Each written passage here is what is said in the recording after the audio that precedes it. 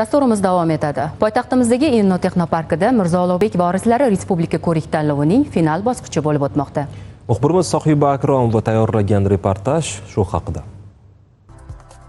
Endilikda siz plastik karta yoki shaxsga doir ma'lumotlarni o'zida jamlagan hujjatlarni zaruriyat yuzasidan yoningizda olib yurishingiz shart emas. Shunchaki tanangizda joylashtirilgan va sizning shaxsiy ma'lumotlaringizni o'zida saqlagan chip orqali savdo markazlarida ham to'lovlarni amalga oshirishingiz mumkin. Xorijda amalga oshirilayotgan bunday innotexnologiyalar bizda ham joriy etilishi mumkin. O'zimizda e, innovatsion implant chipimizni taqdim qilgani olib keldik.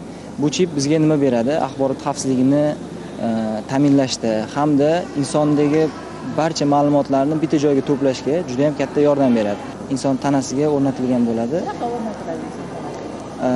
Maxsus kichik operatsiya yordamida o'rnatiladi. Og'riqsiz bo'ladi. Loyiha mualliflarining bildirishicha hozirda unga qiziquvchilar ham bor. Uni tarkibi uch turga bo'linadi. Ya'ni asosiy qism suyak qismi chip hamda antennalardan iborat bo'ladi usti qoplamasi e, oltin hamda silikondan qoplangan bo'ladi.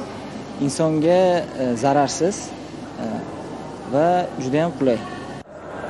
Bunday innovatsion loyihalar har yili yurtimizda an'anaviy tarzda o'tkaziladigan mirzo ulug'bek vorislari respublika tanlovida namoyish etilmoqda.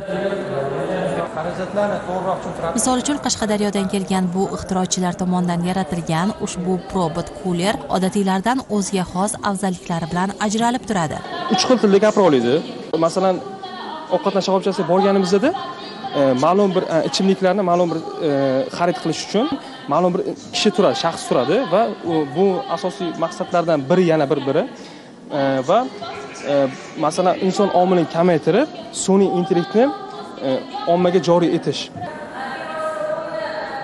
Tanlov tashkilotchilarining bildirishicha bu yil tanlovga yigirma mingdan ortiq o'n olti yoshdan yigirma besh yoshgacha bo'lgan yoshlar o'z loyihalarini topshirishgan. Respublikadan viloyatlardan qoraqalpog'iston respublikasi toshkent shahridan jami ikki yuz saksonta o'n olti yoshdan yigirma besh yoshgacha bo'lgan yoshlarimiz tashrif buyurishgan. Har bitta viloyatlarda demak yigirmataga to'g'ri keladi va ular orasidan hozir mana shu uch kun davomida biz yuzta eng yuqori ball olganlarni tanlab olamiz. Bularni tanlab olish jarayoni hozir qizg'in ketmoqda. Turli xil savol javoblarga boy turli xil yo'nalishlarda shu yoshlarimiz o'zlarini taqdimotlarini ishlanmalarini namoyish qilishyapti va shu baholar natijasida yuz nafar eng yuqori ball olganlar saralab olinadi.